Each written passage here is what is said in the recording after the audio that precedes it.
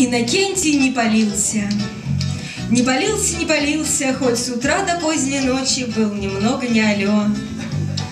Но при этом не полился, не полился, не полился, потому что абсолютно контролировал полет. Он проснулся в гранд-отеле, вызвал горничную Лизи, заказал вареных раков и клубничного желе, но при этом не полился. Не полился, не полился, с крупным, правда, поругался, мелких, впрочем, пожалел. Он пришел в Большой театр и ворвался за кулисы и сказал кардебалету сумку Биркин за миньет, но при этом не полился.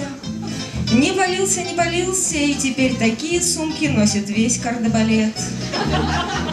Он приехал на работу и шагнул из Роллс-Ройса, и шагнул из Роллс-Ройса прямо в личный кабинет.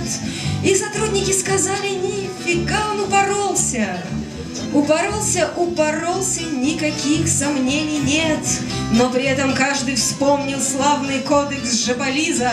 Он гласит «хозяин барин», а начальник молодец. И сотрудники решили, Иннокентий не спалился, не спалился, не спалился, вот и сказочки конец.